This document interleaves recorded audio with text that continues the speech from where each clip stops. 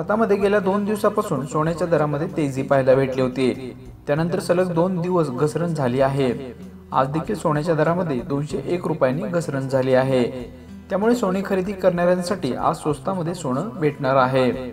Indian Boolean jewellers असोसिएशनच्या वेबसाईटनुसार आज सोन्याचा दर पन्नास हजार चारशे सत्याहत्तर रुपये प्रति दहा ग्राम असा खुला झाला आहे.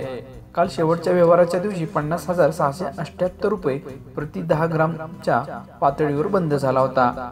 म्हणजेच आज सोन्याचा दर दोनशे एक रुपये प्रति दहा ग्रामच्या घसरणीसह उघडला आहे. आजच्या सोने घसरणीनंतर सोनं पाच हजार सातशे पाच हजार सातशे तेवीस रुपये प्रति तोळे स्वस्त विकले जात आहे. ऑगस्ट दोन हजार वीसमध्ये सोन्याचे सर्वकालीन उच्चांक देखील गाठला होता. त्यामुळे सोन्याचे भाव हे छप्पन हजार दोनशे रुपये प्रति दहा ग्रामच्या पातळीवर देखील गेला होता.